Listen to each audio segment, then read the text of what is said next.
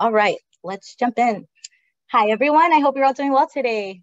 We're so excited to have you joining us today for our webinar, Pride Year Round, Applying UX Research to Create Inclusive LGBTQIA plus Work Experiences. My name is Lynette, and I'm part of the team here at AnswerLab. And before we start, I just want to run through a couple of quick housekeeping items. So this webinar is being recorded and everyone will receive a recording via email afterwards. So if for any reason you have any connectivity issues or you're disconnected, no worries, we'll make sure that you still receive this content. If you have any questions you'd like to submit, please do so via the Q&A box at the bottom or top of your screen, and we will do our best to answer them at the end of this discussion. We are gonna do our best to keep this to 45 minutes so you can stay on track for the rest of your day. A little bit about us. AnswerLab helps brands bring a human-centered design process to every product we launch. We focus on user experience research to understand what people see, do, think, and feel when using websites, mobile applications, voice interfaces, AR, VR, wearables, and other digital products. The original research we'll be discussing in detail today was conducted as part of the Human-Centered Work Project, a hub of research-based insights, resources, and tools on redesigning work experiences that work for everyone. I'll now pass it on to Brenna, who will be introducing the project further and leading the conversation today. Great, thanks Lynette. Hi everybody, my name's Brenna, uh, they, she pronouns. I'm gonna introduce myself a little bit, give an overview of the work that we did, and then I'll introduce each of our wonderful panelists that we'll be talking with today. Um, so I'm a principal UX researcher here at AnswerLab. I've been at AnswerLab going on four years and I've been in the industry going on 10. And I absolutely love doing this type of work, this um, really foundational work where we dig into people's experiences. And as a, a queer community member myself, this is very close to my heart. Um, basically, we can't really talk about this research without talking about our ERG, um, our employee resource group. And if you're unfamiliar with what those are, don't worry, I was unfamiliar with what it was too, basically until I started one at AnswerLab. Um, so our ERG is called Rainbow Lab. Um, it arose from the desire to do this type of research. So back in 2020, during um, you know the strong uprising for Black Lives and when the pandemic hit, we started looking into uh, human-centered work and how things affected people in the workplace. Um, and I was fortunate enough to work on one of those projects, um, unpacking white supremacy in the workplace with BIPOC individuals. And that, you know, gave me the desire to, to learn more about the LGBTQ experience. Um, and I started actually at like a panel like this. I was um, at a, a Twitter panel and I saw one of my fellow answer labbers, Megan Sauter, um, and we were both like that Spider-Man meme, like you, you, wait, me, me too. Like we weren't really out at work at that point. And so we started talking about it and thinking about doing DEI research um, with the queer community in similar ways that we did um, it, with other human-centered work projects in 2020.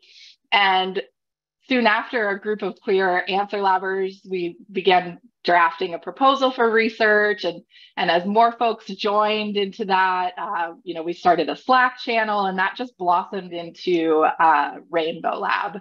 Uh, so it was a really grassroots um, starting process um, and and we are thriving. Answer lab and rainbow lab is one of my favorite things in my life right now um, so to get into a little bit more about the work that we did next slide please um, we did a really iterative process when we were looking at queer experiences in the workplace. We started with a literature review.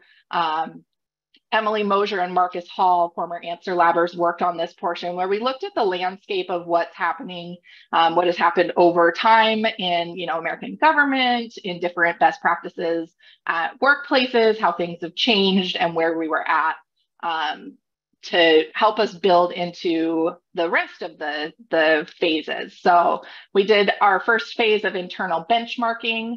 Um, Billy Table led that. They are one of our panelists. They'll talk a little bit more about that, as well as Sabrina De Moral.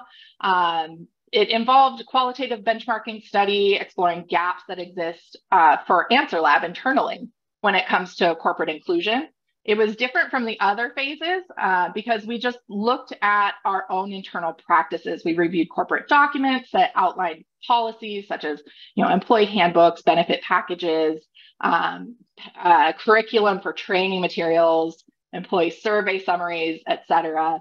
Um, and we used an, we established a scorecard using the Human Rights Campaign as well as Great Place to Work uh, to gauge how our organization did policy wise if we were not just talking the talk, if we were walking the walk. And we scored Answer Lab on four criteria categories. So workforce protections, inclusive benefits, inclusive culture and social responsibility, as well as responsible citizenship. And we overall succeeded, which was wonderful to see. Uh, but we also uncovered some limitations in our formal policies and trainings, um, such as our gender transition coverage and our health insurance our dress code policy, and um, LGBTQ focused leadership and training. And Answer Lab has since changed our health insurance, and they work very closely with our ERG Rainbow Lab to implement other meaningful changes as identified in this study. In round two, we did internal listening sessions um, with Michelle Wojcik and um, a few other answer labbers. Uh, Michelle will talk, she's one of our panelists here. She'll talk about the, the intricacies of doing internal research, uh, but we we add depth to, and context to those benchmark findings. So we spoke to 12 LGBTQIA plus identifying employees, as well as nine allies about their thoughts and their experiences with Answer Labs policies, culture, research practices, um, we had we included answer labbers for many different departments and varying levels of seniority. And we also conducted individual contributor and manager only listening sessions. So there was some some intricacies there to make sure that people were able to feel comfortable giving thoughtful feedback and uh, you know manage feedback on management specific topics or individual contributor topics. Um, and in order to build rapport and create a space in which free expression could flourish, the researchers who conducted the listening sessions identified as members as those particular communities that they were speaking with. So LGBTQ researchers led those listening sessions and ally researchers led the ally listening sessions. And in round three, it was our biggest and longest uh, with the most data. We'll, we'll be hearing a lot from Kareem, who is on the line. Um, he led this round along with um, Billy and um, Eden Jackson and a few other answer labbers, but we conducted a 10 day diary study followed by 15 in depth interviews. Our diary study had 34 participants from um, employees around the country. So we moved from doing our first two rounds of internal research, took those learnings and findings, and expanded upon it to see how other queer employees in the American workplace were experiencing things. It really allowed us to collect rich data about the day-to-day experiences of the employees we spoke with. And um, these in-depth interviews that we followed up with the uh, diary studies gave us time to dig in and get deep, deep understanding of our of some of our uh, participants' stories and it was some of the most powerful and vulnerable conversations that our researchers have done. Um, and Kareem will talk much more about that. So without further ado, uh, next slide, please. I'd like to introduce these wonderful people I've already been talking about. So I'll pass it over to Billy. Hey everyone, I'm Billy Table, they, them. I'm a UX strategist and former senior UX researcher at Answer Lab. Really excited to be here. Um, I worked in the tech and consulting industry for two years. And before Answer Lab, I was a postdoctoral researcher at the University of Texas at Austin, where I researched and taught about LGBTQ plus health communication, difficult conversations, message testing, and organizational change initiatives. I led phase one of this work, um, as Brenna mentioned, alongside my colleague, Brenna Del Moral, and planning phase planning of phase three with my colleagues, Brenna, Kareem, Henry, Max, and Eden. Um, my favorite outcome across this work is seeing changes in action at my workplace and also hearing how folks are already finding the guidance that we've shared useful and impactful. Um, so I'll go ahead and pass it to Michelle to introduce herself. Thanks, Billy. Uh, my name is Michelle, she, her pronouns. Um, I'm a UX researcher here at Answer Lab. Um, and prior, prior to joining AnswerLab, um, my PhD research centered on the victimization experiences of vulnerable populations, including youth and the LGBTQIA plus community. Um, and I led the round two internal listening sessions along with my colleagues, Eden Jackson, uh, Marissa Putnam, and Joseph Friedman. And like Brenna said, these sessions captured the experiences of both queer and ally answer labbers. Um, and my favorite part of doing this work was to provide a space for my colleagues to voice their needs and discuss the changes they'd like to uh, like to see within our workplace. Um, and with that, I will pass it to Kareem morning, good evening, wherever you are. Uh, my name is Kareem. I use he, him pronouns. Um, and throughout my research career, I've had the opportunity to work on inclusivity and accessibility projects, social policy research, and lead internal research efforts at my former company to understand junior level staff experiences and how to improve job satisfaction. I had the pleasure of leading the third round of this study, which focused on the diary study and the in-depth interview with external employees. And we really were trying to understand daily sources of support and exhaustion for LGBTQIA plus employees, um, diving deeper into what compels or dissuades employees to be out in the workplace and to further cultivate um, LGBTQIA plus inclusion in the workplace. And I uh, just want to thank everyone who's been a part of this project, including Eden Jackson, Henny Harbor, and Max Somoleski, and, and so on. Great. Thanks, everybody. Next slide, please. Okay, well, let's get into this discussion. We have so much to cover. Um, we already have some articles and things published about these rounds on our website too. So please make sure to visit answerlab.com slash HCW to find um, our reports and different documentation to help you through this process if you're interested in doing this yourself. So first off, uh, next slide. I'm curious, were there any specific methods or tools that were particularly effective for um, capturing such nuanced experiences that we have in our um, LGBTQ community? Um, I'd like to start, Michelle. You you talked to you know our colleagues here at AnswerLab, so I'm curious um, what you have.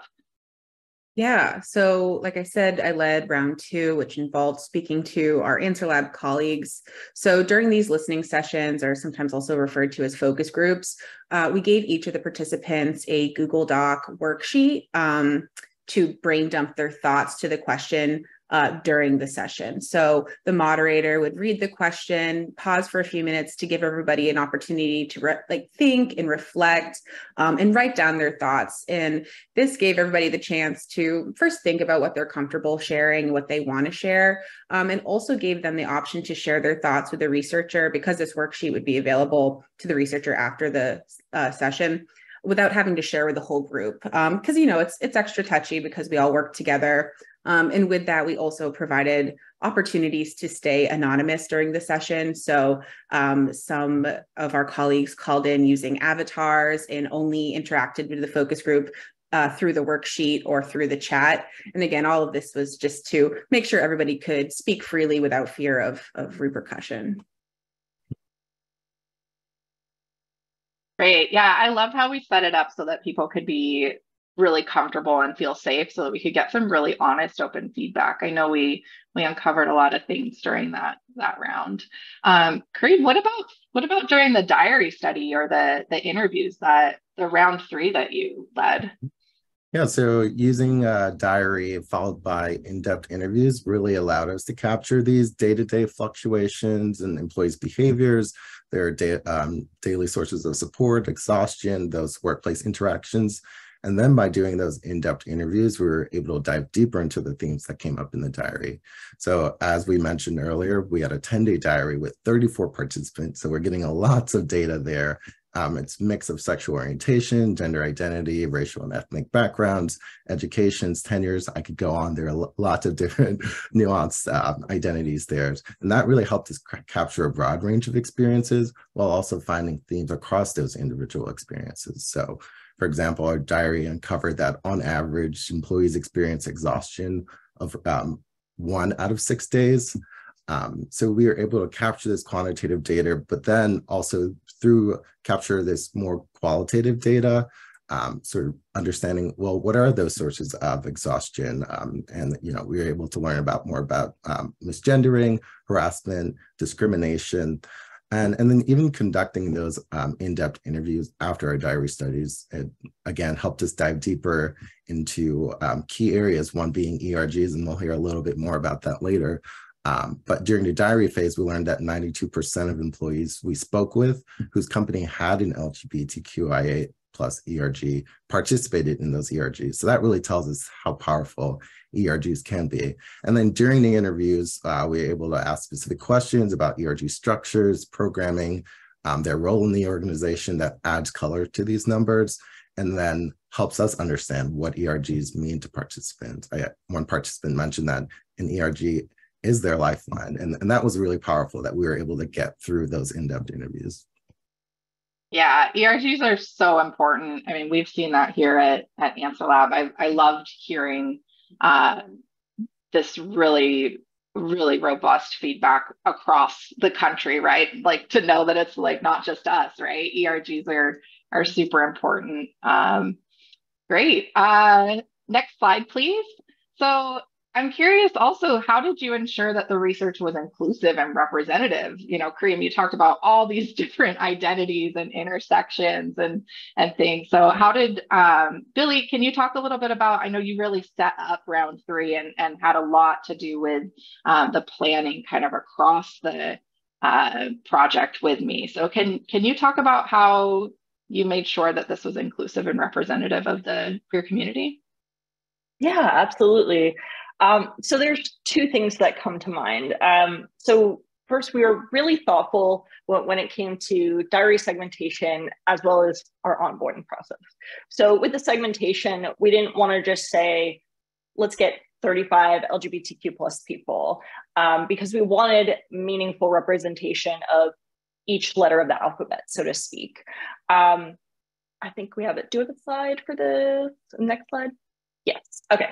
Um, so we had slightly more cis cisgender LGB people because there's a higher percentage uh, represented nationally, but we also defined here binary trans, so trans women and trans men, and non-binary folks as segment groups. Um, and so related to our recruitment process, we wanted our participants to know we're a team of LGBTQ plus people doing this work. We wanted them to see our faces, hear our voices. So we sent along a video introducing ourselves and the study. And we had open Q&A sessions before the diary started for participants to attend and they could meet the researchers and fully feel comfortable sharing their day-to-day workplace experiences. So, you know, uh, from the you know planning to the execution and and uh, all these different steps in between we really wanted to um, be inclusive and try and make folks feel as comfortable as possible it's so special the way that you crafted uh, the the onboarding for the diary study for the participants. I absolutely love that. There was a deck that explained, you know, what was really what we were looking for, like what a good um, submission would be versus a um, less savory submission. And then also just like telling everybody, you know, hey, we're queer too. Like you can be comfortable. We understand. Um, we're we're in it for the right reasons, right? It it it was that's something I think that was really really special about this particular project, um, and I think that's a wonderful takeaway um, whenever you're working with marginalized communities or sensitive topics, right? You don't just want to get somebody in an interview and be like, surprise, we're talking about your sexual identity, right? So making sure that people were able to opt in and consent to discussing these things and know that that we're really here to to listen and, and learn. Uh, that was that was beautiful. So thank you for that. Um, Michelle, in terms of working with people that we work with, that can bring up a whole other um, type of need for inclusivity, inclusivity and, and representation. Um, next slide, and tossing it over to M Michelle. Yeah, thanks, Brenna. So you're right. It was especially important given that the researchers and the participants um, all work together here at Answer Lab. So we had to take extra precautions to ensure that everyone felt safe uh, participating in our listening sessions. So um, first, we conducted uh, individual level contributor and manager only um, ally listening sessions. And that was to prevent anybody from being in the same focus group as their boss, you know, so they could speak to uh, among a group of equals, share thoughtfully and freely without any fear of having to, you know, later have a conversation with their, their boss who's in the same room. Um, and we also conducted manager only um, listening sessions so managers can speak about topics that are most important to them. And didn't feel like they had to also you know engage in, in listening to their direct reports. So the managers ally session focused on things like improving training materials and leadership training opportunities um, and also to build rapport and create a space in which participants could freely speak and, and feel safe. Um, the researchers who conducted the listening sessions all identified as members of the community they were speaking with. So queer researchers led queer listening sessions and ally researchers led ally listening sessions. Awesome. Thank you so much. Yeah, that's something that I didn't really talk about too much when I was discussing the project overall. But all of the leads and everybody that was working on this project, um, we wanted to make sure aligned with the the phase and the the part of the project. Um, so primarily we had a whole team of, of queer researchers and um, project managers and, and uh, research managers helping out on this. It was really, really amazing. And then when we brought in um, in round two was when we turned towards allies. We made sure to have allies there too. So that was that was really um, imperative, I think, here. Um, Kareem, what about in uh, Oh, actually, sorry, next slide. new question, which we will get to Kareem for. Um, so I know there were some challenges um, and, and specific considerations that we needed to take in analyzing and interpreting these findings. And that's why I wanted to talk to Kareem because there was so, you know, 34 diary participants across so many different intersections of life. Um, I'm curious how you handled that. Yeah, so in round three, at the end of each day, again, we're doing a diary. We're asking employees to share whether they've experienced discomfort or exhaustion at work. And again, prior to the study and even in the prompts themselves, we're telling participants that we want you to share as much or as little as you're comfortable um, with us, given that a lot of these experiences can be painful to reflect on. Um, and as Billy mentioned, we have those introductions, we have the study deck, um, and I think that really helped participants uh, feel comfortable that they could share, um, you know, what was going on in their lives. And it's a good feeling when you can get participants to feel comfortable sharing those experiences, but you don't know what might come your way. Uh, so I remember the first day of the study, um, just reading through their diary entries, uh, there was an employee who wrote about an instance of sexual misconduct in the workplace. And in instances like this, it was important for my team and um, I to come together and discuss how to best approach these situations with compassion and care and sort of understand how we can best be supportive. So for example, you know, I spoke with my colleague Max and something we did was just figure out um, if there are any resources we could point participants to, of course, with their permission. Um, so that that's one of the challenges that uh, when you're asking about um, when you're asking for participants to be vulnerable, to be raw, to talk about these experiences of discomfort, um, anything can come up in these diaries and it, it's best that you have a team that can support you through these uh, through these uh, studies but also know how to um, respond again with care and compassion Oh, wonderful, Kareem. Thank you. Yeah, I know I've conducted uh, research in the queer community myself as well, and diary studies can be particularly vulnerable. So, you know, having um, having my colleagues and friends at work that I can lean on and just talk about and be like, oh man, this this really kind of triggered me. Like, can we talk about this? I could use some support. And having that type of relationship with um, folks on this project, I think was really imperative to, you know, support our own mental health and uh, to be able to support our participants as well. So, um, Michelle, what about with talking to folks that work here about these types of things? How, how, what type of challenges or considerations did you take? Yeah, everything you just said, Brenna, it's so important to have emotional support when doing this type of work, especially you know qualitative research whether it's listening sessions or diary studies is very personal just in its nature and especially when you identify with the community that you're you're researching. Um, so it's emotionally heavy and you really have to be mentally prepared to do this work and enter into the listening session and give yourself the space to process and perhaps even you know grieve and heal as a group. Um, and, having that strong organizational support system when you need to debrief when you need to step away or we just need to you know recognize something that is emotionally taxing is is so critical when doing this work.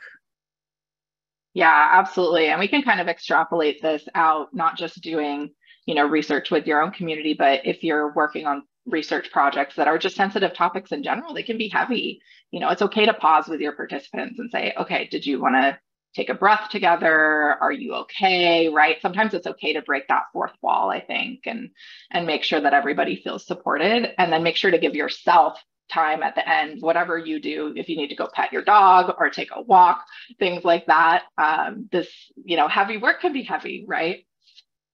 Great. Thanks for sharing that y'all. Um, I want to know were there any unexpected discoveries or unique perspectives that uh, participants shared or that came up while you were doing this research? I'm just going to open this for everybody.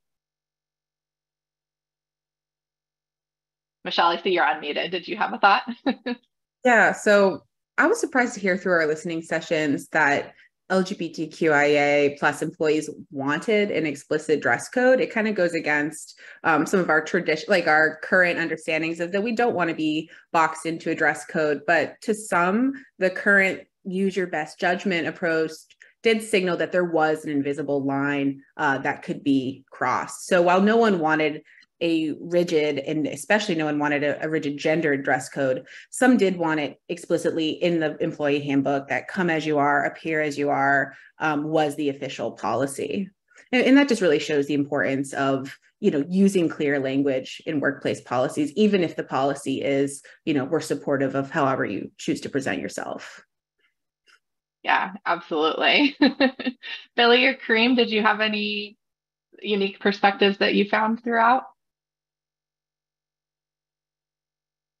All right. Well, for the sake of time, let's just head on to the next slide here. This one's a pretty exciting one, I think. Um, so, what were the specific recommendations for how companies can improve the experiences of LGBTQIA plus employees? What were the findings? Next slide, please.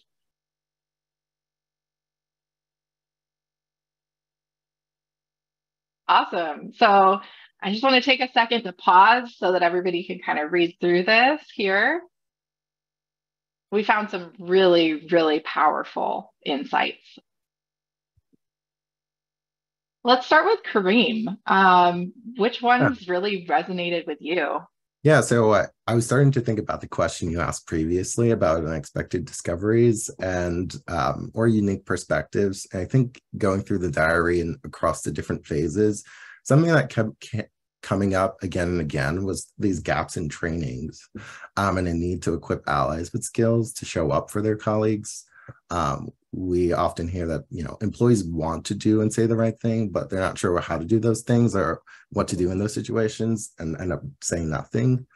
Um, and I think uh, even during a diary, I learned that a lot of participants, a lot of employees there are a lot of these uh, sort of standard check the box annual sensitivity trainings, and it doesn't necessarily go beyond that. And really think there's an opportunity to provide um, employees with sort of the practice to speak up um, as an advocate or as, as an ally. I think there's uh, opportunities to develop more guidelines around ending harmful conversations, and I think there's really a need for more comprehensive training with trans inclusive information that covers gender identity and sexual orientation on a deeper level, that talks about intersectional marginalized identity and so on in meaningful ways that sort of go beyond the, okay, you have your training, it's due on July 15th, and then it's due the next July 15th.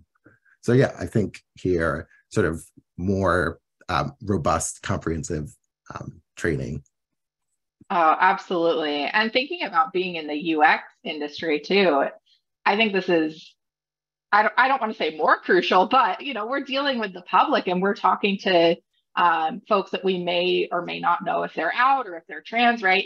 This is like kind of an invisible thing. So having the training to know how to show up for people just in general when you're conducting interview sessions or working with different stakeholders or um, you know learning how to stand up for uh, the lgbtq community if you have a finding in your research right so uh, wow that's super powerful what about you michelle yeah so a big one was just making sure that the recruitment materials for for new applicants are gender inclusive. That really serves as the starting point as it signals the inclusive culture of an organization. And i know currently our answer lab web, uh, website showcases a lot of its uh, our human centered work. And i know that that was an important and a deciding factor for a lot of us who currently work here when we were making the decision to submit an application. So it's a relatively low lift but it goes a long way in signaling the uh, inclusive culture of the workplace yeah, absolutely. I run some of our onboarding trainings, and I noticed that once I um, started being gender inclusive and like being out, I guess, like that was a transition for me. Like at, at uh, AnswerLab currently was really being out at the workplace. And I, I noticed that as we started being more inclusive in our culture and on our website, we started getting more diverse applicants and really powerful, um, you know, experiences from our different employees, which has really, really improved our workplace uh, on so many levels. I mean, I could go on and on, uh, but I want to hear from Billy. no, I can. I'll, I would definitely ditto that. Um, uh, that was one of the reasons why I ended up coming to work at AnswerLab and um, and then meeting Brenna and onboarding. I was like, oh, there's more of us here. Like it was great. Um, but yeah, so I mean, looking at this list, um, if I had to pick one of these that that was most impactful to me, um, it it would be the benefits focused one. Um, so you know, the part of the project that that I led um, involved auditing our policies and benefits and things like that, and I, we ended up changing our healthcare benefits to be more trans inclusive. Um, and it's one that I personally have benefited from as well. Um, our healthcare plan didn't uniformly cover gender affirming care, uh, like hormone therapies. So we switched to one that did.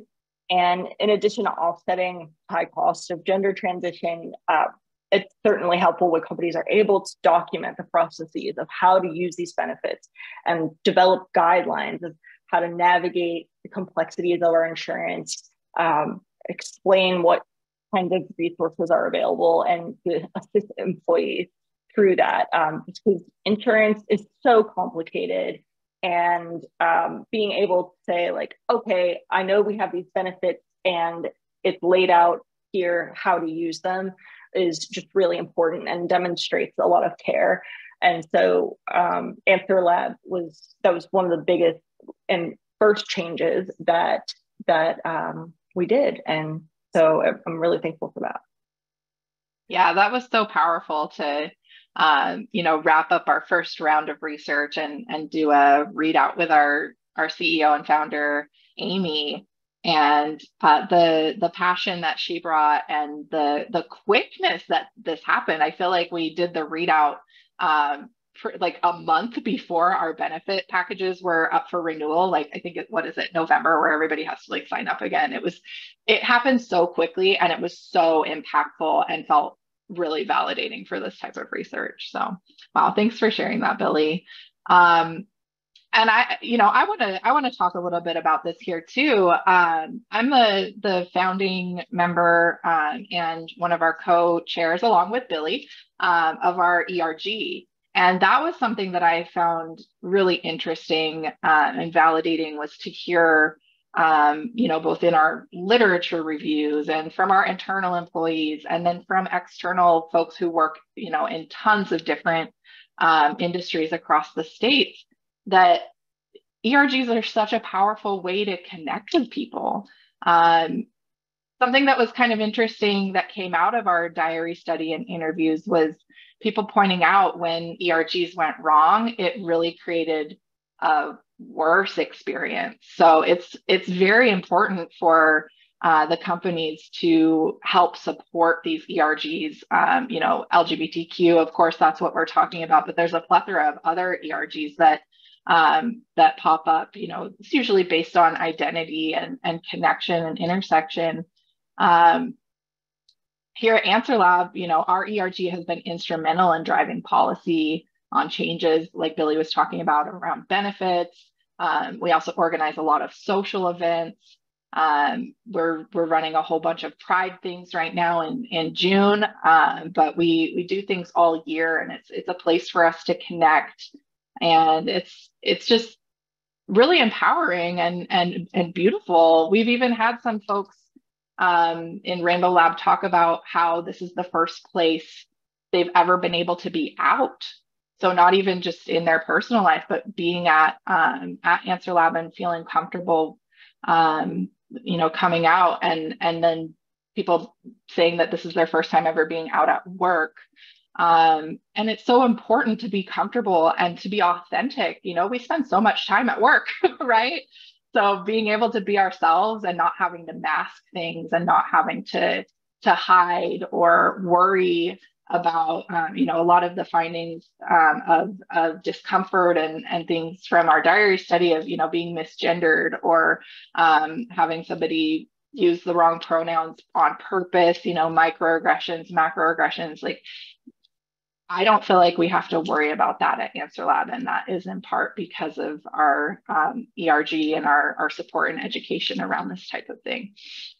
So yeah, really great, uh, really, really great findings. These are impactful steps companies can make. I do see a question in the chat about um, these findings and if they were reviewed by our interviewees. And so we did have um, folks in round round three. So we did show them all of our reports and everything before we published them and gave them a chance to give feedback. Um, so yes, Excellent. All right. Well, we are coming up on time. I believe we have just a couple more questions. So let's move on to the next slide here. And I'm curious what kind of policies or experiences had a significant impact on fostering an inclusive workplace for LGBTQIA plus individuals. And I'm just going to ask that directly to Kareem since he spoke with so many people across the country. Yeah, and um, I think Billy started alluding to this, but I had the um, based on their personal experience, but I had the pleasure of speaking with um, an employee who learned early on in their onboarding experience that their job's health insurance covered gender affirming care up to a certain amount of um, money in a calendar year. And I just want to share a quote from the participant where they said, This made me feel valued. I appreciated that it was a specific benefit rather than something marketed as LGBTQIA plus healthcare. Um, it's more like, no, you're trans. We will help you transition. We care about you. Um, and this is coming from a participant who previously worked at a another uh, another company where they faced constant microaggression, where they um, weren't really comfortable coming out after to other people after those microaggressions. So that was very heartwarming to hear. And then just another quick one, just in the interest of time, is uh, we had several employees talk about um, working at companies that encourage sharing pronouns, whether it's on Slack, Zoom, and during introductions. And again, just sharing another quote from an employee that it's nice to go into a workplace knowing I'm not the only trans person and that there are other openly queer and trans employees, especially at all levels. When my cisgender employee uh, colleagues introduce themselves with pr pronouns, it's a norm, it's a practice. You don't assume pronouns with looks. This helps me not stick out or be othered. So having a policy around pronouns can really help foster an inclusive workplace, especially for trans and non-binary employees. As a trans non-binary employee, I couldn't agree more. Thank you so much, Kareem. Thank you for sharing that. I love um, hearing like these individual stories. It really brings everything to life. You know, you can have stats and slides and everything, but when you hear directly about people's experiences, it's so it's so powerful. So, all right. Well, final thoughts. Next slide here. Um, Billy, let's start with you. What advice would you give to organizations or individuals seeking to create a more inclusive work environment for queer folks? Yeah, yeah. Um, I mean, I know folks probably thinking maybe my workplace could do better supporting LGBTQ plus people, or how do I broach that with my manager, my teams, my CEO? Um, and I would say one place to start is to ask about or or see if you can lead or see if there's teams within the company who would lead some foundational research um, and if there's if there's any research at all focused on diversity and inclusion um, because that can begin to highlight what areas need attention such as like do managers need trainings?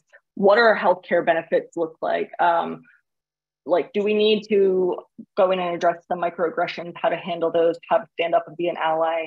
Um, and so it's important to to look at policies benefits codified procedures like we've talked about dress code policies anti-discrimination policies to examine whether a company may be leaving leaving somebody out in the process um, i also want to say here please reach out to us. We're here to help. If you want to talk about ways to reach out to your company's leadership, how to start those conversations, how to design this kind of research, um, because I know we've talked about a lot of things, a lot of findings, a lot of um, uh, background, but I also would love to say like we're available um, for for chatting and brainstorming. So um, yeah. Yeah, awesome.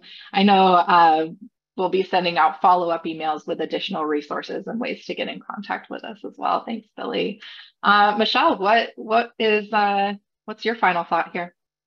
Yeah, I think that a starting point for companies looking to do this work is to just talk to your employees. You know, you can't know what policies could be improved or what needs uh, your uh, employees have if you don't ask.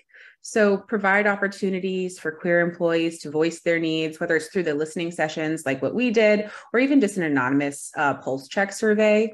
Um, and with that, we do have um, the listening session guide that we used um, in our work published on our website, and we're going to send it out um, after this webinar as well, in case you want to use it as a, a starting point for your own work. Your own work. Awesome. Thanks for putting that together, Michelle. Uh, Kareem, what's your uh, final thought? What advice would you give?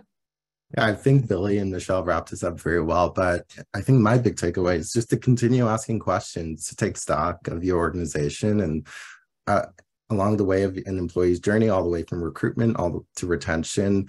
Um, are employees aware of the resources and protections available to them during onboarding? um, are the recruitment practices inclusive of LGBTQIA plus um, employees? Um, is it clear what the DEI, initiatives are and how the company is advancing those? So I think it's um, important to encourage those in leadership and throughout the organization to keep asking questions. Great.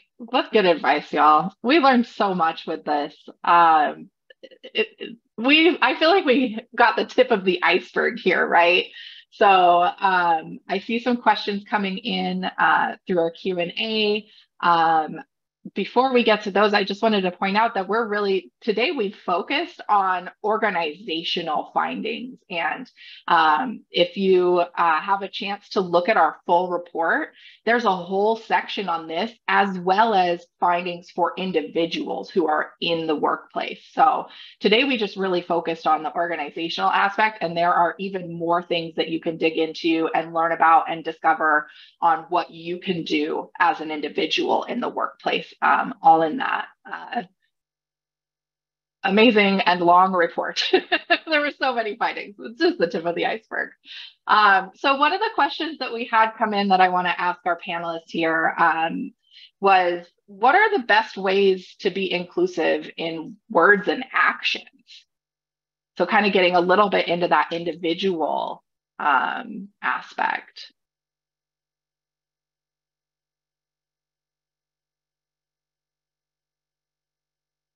I think um, just to add some nuance to talking about like pronouns and how we were talking about how a policy is important, I think that within that policy, it shouldn't be mandatory to include pronouns just because there could be some employees who aren't out and they don't want to misgender themselves um, or they're um, they are are questioning and they're not sure which pronouns to use and so uh, if, if it's kind of a requirement and when everybody's going around sharing their pronouns, if somebody doesn't include theirs, skip it, but making sure everybody knows that that it is a recommended, a strongly recommended practice can be, um, it, it helps folks feel included. It helps people not feel like they stick out.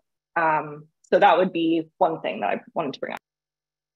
Yeah, absolutely. I know like I feel like my pronouns change constantly or like are different if I'm in different areas and sometimes it's uncomfortable. Sometimes I don't want to share them, right? So um, I would say like kind of adding on to that is if you're in, you know, a meeting or talking with folks um, outside of, I mean, anywhere, if you notice that somebody's being misgendered, um, speak up for them. I can say as somebody who gets misgendered on a daily basis, it's, you know, it's like death by a thousand cuts. I don't want to talk about it all the time. I don't want to um, always have to say, I prefer they or, you know, something like that. Um, so if, if you do hear that happening, um, it's always helpful, I know for myself when somebody else, uh, you know, helps me out with that.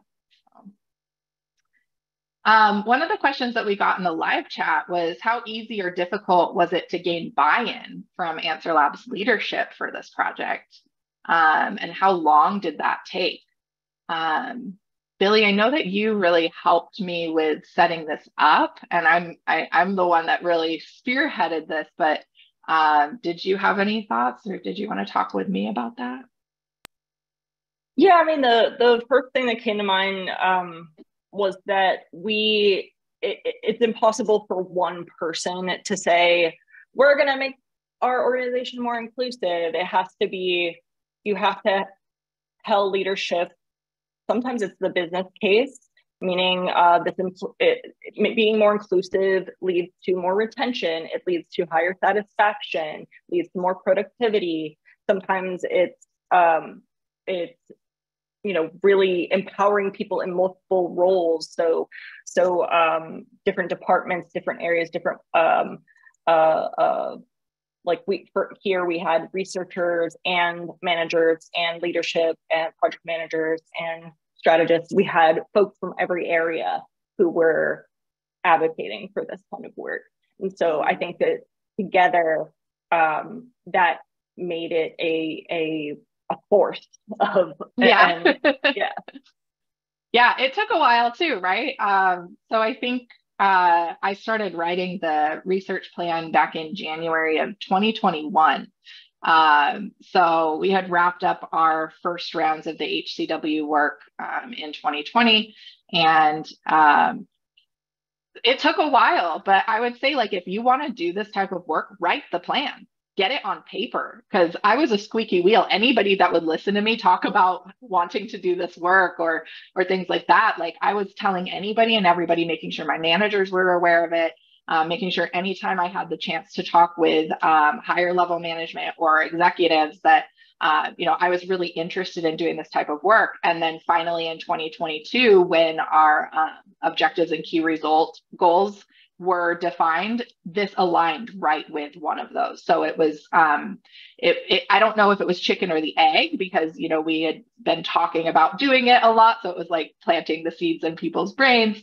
Um, or if like that was a goal that like the business saw and then they were like, oh yeah, Brenna and the, the team are already like, they have something on paper. So it was really easy to already have this plan laid out to like um, usher it in once we got official um, funding and buy-in. So I would say like the first step would be to just, you know, get together with some other folks and start actually writing up a plan um, for what you want to do. All right, well, uh, we are about five minutes over. So thank you so much everybody for sticking around for this this uh, robust conversation and these these question and answers. Uh, we didn't get to every single question that came through, um, but I believe we will be including those um, in a follow up as well. Um, and yeah, we also have so much um, on our website already for y'all to dig into. So thank you so much. I want to toss it back over. Well, thank you to the to the panelists for sharing everything. Thank you, Billy and Michelle and, and Kareem. It's been a pleasure to work with y'all. Um, back over to Lynette. Yes, thank you, team. Thank you for the great conversation today. And thank you, everyone, for attending. As Brenna mentioned, we will be sending out um, links to these additional resources, as well as a recording of this webinar in case you want to go back and rewatch it. So make sure to keep an eye on your inbox. And if you want some more information, you can also visit us at answerlab.com slash HCW. Thank you again, everyone, for attending, and I hope you have a great day. Thanks, y'all. Happy Pride.